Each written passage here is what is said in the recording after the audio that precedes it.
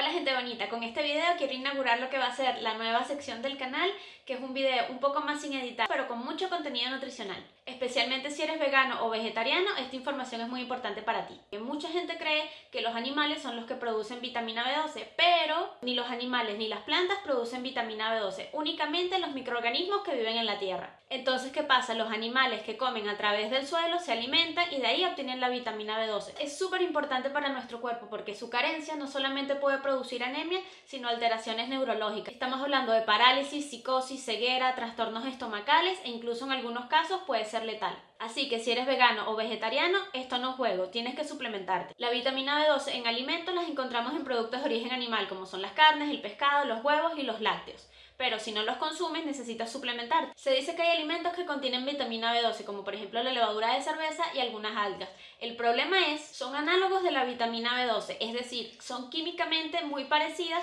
pero no son realmente la vitamina B12 que nuestro cuerpo necesita. Cuando nos hacen una analítica de B12 puede falsearnos los resultados, así que no hay que confiarse de obtener nuestra vitamina B12 a partir de esos alimentos. También hay quienes dicen que es suficiente con consumir alimentos que estén fortificados, pero la verdad es que son muy pocos alimentos, tendríamos que comer un montón y no sabemos a ciencia cierta cuánto le estaríamos dando a nuestro cuerpo, mientras que suplementamos le damos exactamente las cantidades que necesita. Hay varias formas químicas diferentes de la vitamina B12. La más recomendada para tomar es la cianocobalamina. La puedes tomar en pastillitas o sublingual, como tú quieras. ¿Quiénes deberían suplementarse con vitamina B12? Embarazadas y mujeres lactantes. Si tu bebé va a ser vegano, también deberías suplementarlo desde el mismo momento en que deja la lactancia. Personas mayores de 50 años también deberían suplementarse porque con la edad disminuye la capacidad de absorción del cuerpo y por supuesto, si eres vegetariano o vegano necesitas suplementarte. Antes decían que los vegetarianos no lo necesitaban porque aún consumían lácteos y huevos y que con eso era suficiente, pero se han hecho nuevos estudios que han demostrado que las cantidades no son suficientes. La vitamina B12 es una vitamina que es tan esencial que el cuerpo la almacena en sí mismo, pero eso puede variar mucho de persona en persona de acuerdo a la alimentación que lleven y a su capacidad de absorción. Por eso es importante no esperar las analíticas y suplementarse. Si eres un nuevo vegano o vegetariano,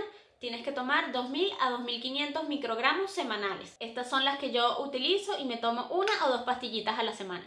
En la cajita de descripción les voy a dejar el enlace de la vitamina B12 que yo uso y dónde la compro que además si compran por ese link pueden utilizar el cupón de descuento que les voy a dejar también abajo en la cajita de descripción. O si prefieres puedes tomar de 250 a 500 microgramos diarios. Si has sido vegetariano o vegano ya por un tiempo y hasta el momento no has estado tomando la vitamina B12 es mejor que comiences con dosis más altas para recompensar a tu cuerpo de todo lo que se ha perdido. La recomendación sería tomar unos 2000 microgramos diarios durante 6 meses y a partir de ahí ya puedes comenzar con las tomas semanales. Si te olvidas alguna vez de tomar la vitamina B12 no te preocupes porque como dije antes el cuerpo tiene eso significa que si por una semana estás probando una dieta vegana o por unos días no has comido ciertos productos, no te va a pasar nada, no te va a bajar la vitamina B12. Esto es para personas que llevan un tipo de alimentación en concreto o si tienes dudas, siempre es bueno que te hagas una analítica y consultes con tu doctor. Y no te preocupes que si tomas de más el exceso de vitamina B12 no es tóxica, el cuerpo la expulsa por la orina. Así que ya sabes, si eres vegetariano o vegano, sé responsable y suplementate.